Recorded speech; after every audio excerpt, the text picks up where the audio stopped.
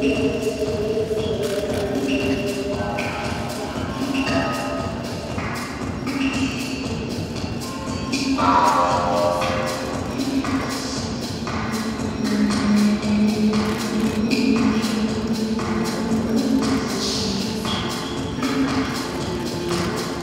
collezione sempre, vuole sempre portare un messaggio di multiculturalità applicata, in questo caso partendo da quelli che sono i miei stilemi d'origine, dunque il wax che simbolizza l'Africa e la, eh, la taglio dell'artigianale italiano abbiamo incontrato il Giappone, dunque mettere, far rientrare nel rigore eh, d'Asia l'esuberanza cromatica tropicale è stata una bella, una bella prova.